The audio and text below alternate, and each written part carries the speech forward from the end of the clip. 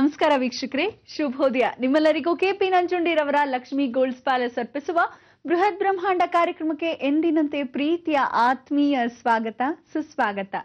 ನಹಿ ಜ್ಞಾನೇನ ಸದೃಶಂ ಎಂಬುವ ಒಂದು ಸಂಸ್ಕೃತದ ಉಕ್ತಿ ಇದೆ. ಅಂದರೆ ಜ್ಞಾನಕ್ಕೆ ಸಮನಾದದ್ದು ಯಾವುದೂ ಇಲ್ಲ ಅಂತ. ಬನ್ನಿ ನಮ್ಮ ಬೃಹತ್ ಬ್ರಹ್ಮಾಂಡ ಕಾರ್ಯಕ್ರಮದ ಮುಖೇನ ಧರ್ಮದ ಜ್ಞಾನವನ್ನ ಪಡೆಯೋಣ.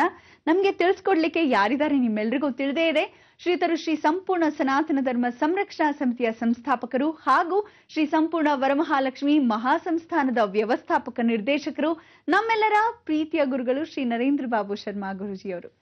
ನಮಸ್ಕಾರ ಗುರುಜಿ. ಬೃಹತ್ ಬ್ರಹ್ಮಾಂಡ ಕಾರ್ಯಕ್ರಮಕ್ಕೆ ಪ್ರೀತಿಯ ಸ್ವಾಗತ ಗುರುಜಿ ತಮ್ಮ ನಮಸ್ಕಾರ ನಮಸ್ಕಾರ. ಗುರುಜಿ ಇವತ್ತು ಗುರುವಾರ ಯಾವ ವಿಶೇಷ ಮಾಹಿತಿಯನ್ನ ನೀಡ್ತಿದ್ದೀರಾ? ಸಿದ್ಧಗಂಗಾ ಕ್ಷೇತ್ರದ ಕುರಿತು ಹಾಗೆ ಇನ್ನ ಇತರ ವಿಷಯಗಳು ಏನ್ ಬಗ್ಗೆ ತಿಳಿಸ್ಕೊಡ್ತಿದ್ದೀರಾ? ಎಲ್ಲ ವೀಕ್ಷಕ ಬಾಂಧವರಿಗೆ ಪರಿಪೂರ್ಣವಾದ ಸ್ವಾಗತ. ನಮ್ಮ ನಿಮ್ಮೆಲ್ಲರ ಬ್ರಹ್ಮಾಂಡ ಲೋಕಕ್ಕೆ ಇವತ್ತು ದಿವಸ ಗುರುವಾರ ಅಂತ ಹೇಳ್ಬಿಟ್ಟಿದ್ದಾರೆ ಪಾಪ. ಗುರುವಾರ ಗುರುಗಳ ವಾರ ಅಂತ ಹೇಳ್ತೀವಿ. ಆದ್ರೆ ಗುರುಗಳ ವಾರ ಅಲ್ಲದೆ ಗುರುವಾರ ಅನ್ನೋದು ಗು ಅಂತಕ್ಕಂಥ ವಿಚಾರ. ಈ ಗು ಅಂತಕ್ಕಂಥ ವಿಚಾರ ಗಹನ ಗೃಹೋ ಅಂತ. ಒಂದು ಗೃಹದಲ್ಲಿ ಗಹನ ಅಂದ್ರೆ ಕಷ್ಟ ಇದ್ದ ದಿನಗಳು ಅಂತ. ಈ ಕಷ್ಟ ಇದ್ದ ದಿನಗಳು ಒಂದು ಗೃಹದಲ್ಲಿ ಇದ್ದಾಗ ಹೋಗ್ಲಾಡ್ಸೋದು ಹೇಗೆ? ಗುರುವು ಮನೆಗೆ ಬಂದಾಗ ಅಂತ ಹೇಳ್ತೀವಿ.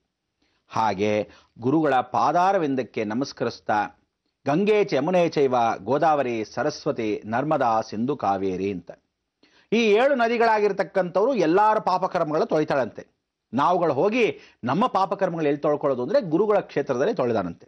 ಅದಕ್ಕೆ ಕಲಿಯುಗದಲ್ಲಿ ಹೇಳ್ತಾರೆ, ಯಾರಾದರೂ ಒಂದು ಗುರುಗಳನ್ನ ಪಾದಪೂಜೆಗೆ ತಮ್ಮ ಮನೆಗೆ ಕರೆದಾಗ, ತಮ್ಮ ಮನೆಗೆ ಆಶ್ರಯವಾಗಿರತಕ್ಕಂಥ ಒಂದು ಜೀವನವನ್ನು ಕಳೆದಾಗ, ಗುಹಾ ಅಂದರೆ ಸುಬ್ರಹ್ಮಣ್ಯ.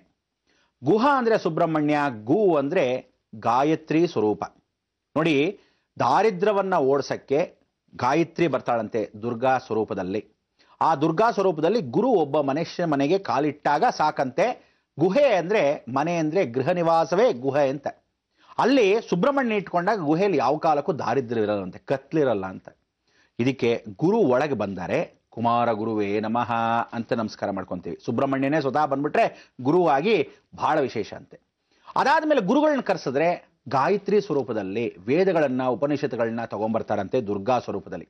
ಅದಕ್ಕೆ ದುರ್ಗಾ ಶಮನತಿ ನಾಶನಂ. ಅಂದರೆ ನಮ್ಮಲ್ಲಿರ್ತಕ್ಕಂಥ ಶಮನ ಮಾಡೋದು ಯಾರಿಗೆ ಅಂದರೆ ದುರ್ಗಾ. ಸರ್ವ ಕಷ್ಟಗಳನ್ನ ಓಡಿಸ್ಬೇಕು ಅಂದರೆ ದುರ್ಗಾನೇ ಪಾದಾರವಿಂದಕ್ಕೆ ಬರಬೇಕು. ಅದಕ್ಕೆ ಗುರುಗಳು ಬಹಳ ಯತೀವರ್ಗರು ಯಾರಾದರೂ ಇದ್ದರೆ ಅವರನ್ನ ಮನೆಗೆ ಕರೆದು ಪಾದ ಪೂಜೆಗೆ ಕರೆದು ನಮಸ್ಕಾರ ಮಾಡಿಕೊಂಡ್ರೆ ಆ ಮನೆ ಧೂಳು ಬಿದ್ದರೆ ಸಾಕಂತೆ, ವಿಶೇಷವಾಗಿ ಪಾಪಕರ್ಮಗಳೆಲ್ಲ ತೊಳೆಯುತ್ತೆ. ಗಂಗೆ, ಯಮುನೆ ಎಲ್ಲರೂ ಹೇಳಿ ಹೇಳ್ತಾರೆ, ಗುರುಗಳೇ, ನಮ್ಮ ಪಾಪಕರ್ಮಗಳು ಇಲ್ಲಿ ಆಶ್ರಮಕ್ಕೆ ಬಂದ ತಕ್ಷಣಕ್ಕೆ ತೊಳೀತು. ಆದರೆ ಕಲಿಯುಗದಲ್ಲಿ ನೀವೇ ಸ್ವತಃ ಎಲ್ಲರ ಮನೆಗಳಿಗೆ ಹೋದಾಗ ಎಷ್ಟು ವಿಶೇಷ? ಅಂದರೆ ಆ ಗುರು ಯಾವ ಕಾಲಕ್ಕೊಬ್ಬರು ಮನೆಗೆ ಹೋದರೆ ಸಾಕಂತೆ? ಕರೆಯೋದು ವಿಶೇಷ. ಆದರೆ ಗುರುಗಳನ್ನ ಕರೆಯಬೇಕಾದ್ರೆ ಗೌರವ, ಸಂತಾಪ, ಪರಿವರ್ತನೆ ಎಲ್ಲವೂ ನೀವು ಪಡಿಸ್ಕೋಬೇಕಾದ್ರೆ ಗುರುಗಳನ್ನ ಆಧರಿಸ್ಬೇಕು, ಪಾಲನೆ ಪೋಷಣೆ ಮಾಡಬೇಕು, ಗುರುಗಳಿಗೆ ಆಗತಕ್ಕಂಥ ವಿಶೇಷವಾಗಿರ್ತಕ್ಕಂಥ ಅಂತಃಕ್ರಮಣ.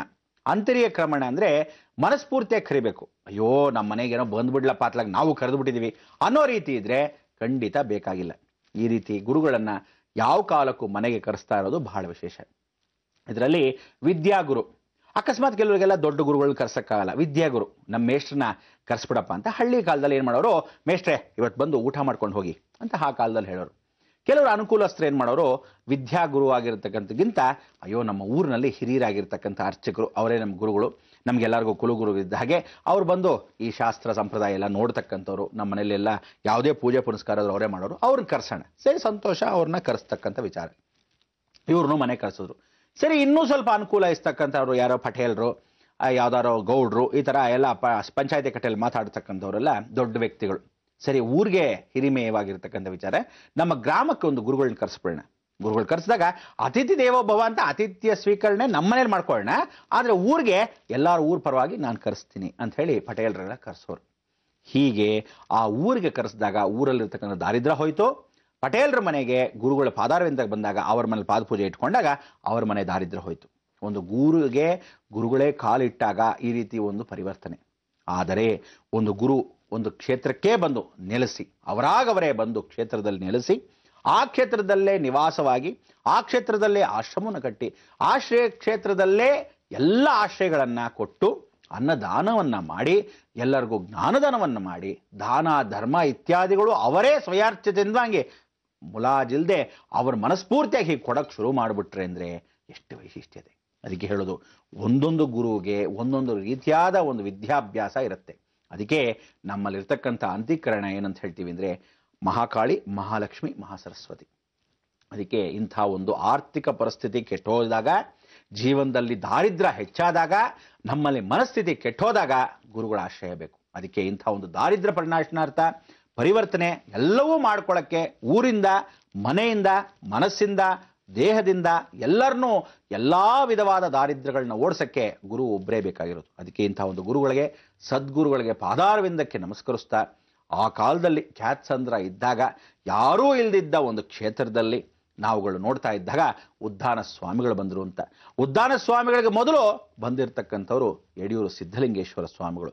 ಸಿದ್ಧಲಿಂಗೇಶ್ವರರು ವಿಶೇಷವಾಗಿ ಬಂದಿರತಕ್ಕಂಥದ್ದು ಸಾಕ್ಷಾತ್ ಪರಮೇಶ್ವರನ ಸ್ವರೂಪದಲ್ಲಿ ಜ್ಞಾನ ಗಂಗೆಯನ್ನು ಅಭಿವೃದ್ಧಿಪಡಿಸ್ಕೊಂಡು ಗಂಗಾ ಕ್ಷೇತ್ರದಲ್ಲಿ ಅವರ ಜ್ಞಾನ ಅಭಿವೃದ್ಧಿನ ಪಡಿಸ್ಕೊಳ್ಳೋ ಪರಮೇಶ್ವರನೇ ಸ್ವತಃ ಬ್ರಹ್ಮಕಮಲವನ್ನು ಇಟ್ಕೊಂಡ್ಬಂದರು. ಈ ರೀತಿ ಎಲ್ಲ ಗುರುಗಳು ಬಂದು ಆ ಪರಂಪರೆಯಲ್ಲಿ ನೆಲೆಸಿ ಇವತ್ತಿನ ದಿವಸ ಎಲ್ಲರಿಗೂ ಮಾರ್ಗದರ್ಶನವನ್ನು ಕೊಡ್ತಕ್ಕಂಥ ತ್ರಿವಿಧ ದಾಸೋಹಿಗಳು ಸಾಕ್ಷಾತ್ ಶಿವಕುಮಾರ ಸ್ವಾಮಿಗಳು. ಎಂಥ ಒಂದು ದೈವತತ್ವ, ಎಂಥ ಒಂದು ವಿಧಿ ನೈಪುಣ್ಯ ಅಂದರೆ ಆ ಕ್ಷೇತ್ರ ಬರೀ ಆ ಊರು ಧನ್ಯ ಆಗಿಲ್ಲ, ಕ್ಷೇತ್ರ ಧನ್ಯವಾಯಿತು, ಇಡೀ ಊರಿನಲ್ಲಿರ್ತಕ್ಕಂಥ ಎಲ್ಲ ಹೊಲಸು ಹೋಯಿತು, ಇರ್ತಕ್ಕಂಥ ಎಲ್ಲರಿಗೂ ಮನೋಭಾವನೆ ಒಳ್ಳೆ ತಿಳಿಯಾಯಿತು. ಇವತ್ತು ನೀವು ಎಲ್ಲೋ ದಾರಿಯಲ್ಲಿ ಹೋಗ್ತಾ ಇದ್ದಾಗ ಸ್ವಲ್ಪ ಮಟ್ಟಿಗೆ ತುಮಕೂರು ಬಳಿ ಹೋಗಬೇಕು ಅಂದರೆ, ಅಥವಾ ಯಾವುದಾದ್ರು ದಾವಣಗೆರೆ ಕಡೆ ಹೋಗಬೇಕು ಅಂದರೆ, ಹುಬ್ಳಿ ಕಡೆ ಹೋಗಬೇಕು ಅಂದರೆ ನೀವೆಲ್ಲ ನೆಟ್ಟಿಗೆ ಹೋಗ್ತಾ ಇರ್ತೀರ. ಆದರೆ ಆ ಕ್ಯಾತ್ಸಂದ್ರ ಬಂದಾಗ ಸುಮ್ಮನೆ ತಟ್ಟೆ ಇಡ್ಲಿ ಜ್ಞಾಪಕ ಬರುತ್ತೆ ನಿಮಗೆ. ಒಳಭಾಗದಲ್ಲಿ, ಅಯ್ಯೋ, ಒಳಗೆ ಅಂತರವಾಗಿರ್ತಕ್ಕಂಥ ಜ್ಯೋತಿ ಎಷ್ಟು ಚೆನ್ನಾಗಿದೆ. ಸ್ವಲ್ಪ ಒಳಗೆ ನುಗ್ಗಿ ನೋಡೋಣ. ಆ ಜ್ಯೋತಿ ಪ್ರಕಾಶ ನಾವು ತಗೊಳ್ಳೋಣ. ಗುರುಗಳ ಆಶೀರ್ವಾದ ತಗೋಬೇಕು ಅನ್ನೋ ಮನೋಭಾವನೆ ನಿಮಗೆ ಬರಬೇಕಾದ್ರೆ ಏನು ಮಾಡಬೇಕು? ನೀವೆಲ್ಲ ಹೀಗೆ ರೀತಿಯಾಗಿ ಎಲ್ಲವನ್ನು ಬಿಟ್ಟು ಗುರುಗಳ ಅನುಕಂಪಕ್ಕೆ ಪರಿಪೂರ್ಣವಾಗಿ ಹೋಗಿ ನಮಸ್ಕರಿಸಿ ಅಲ್ಲಿಂದ ಪಾದಾರವಿಂದಕ್ಕೆ ಮುಂದೆ ಬೆಳೆಸಬೇಕು. ಆದರೆ ಆ ಬೆಳಕು ಒಳಭಾಗದಲ್ಲಿ ಇರೋದನ್ನ ಹುಡುಕಬೇಕು. ಹುಡುಕಿದಾಗ ಗುರು ಅನುಗ್ರಹ. ಗುರು ಮುಖೇನ ದೇವದರ್ಶಾಮಿ ದೇವರೂ ಹಾಗೆ ಆವಾಗ ಓಹೋ ಇವನು ಹುಡುಕ್ತಾ ಇದ್ದಾನೆ, ಪ್ರಯತ್ನ ಪಡ್ತಾ ಇದ್ದಾನೆ, ಈ ಪ್ರಯತ್ನಕ್ಕೆ ನಾನು ಯಶಸ್ಸು ಕೀರ್ತಿಯನ್ನು ಕೊಡ್ತೀನಿ. ನೀವು ಹತ್ತೋ ಏಣಿಗೆ ಅವನು ವಿಶೇಷವಾಗಿ ಒಂದು ಯಶಸ್ಸು ಸ್ಥಾನ ಕೊಡ್ತಾನೆ. ಇಂಥ ಒಂದು ಸ್ಥಾನ, ಮಾನ, ಗೌರವ ಎಲ್ಲರೂ ಸಿಗಬೇಕಾದ್ರೆ ನೀವುಗಳೆಲ್ಲ ಏನು ಮಾಡಬೇಕು? ಕಾದು ಕೂತಿರಬೇಕು ನಾ ಮಿಕ್ಕಿದ್ದು ಹೇಳಬೇಕು.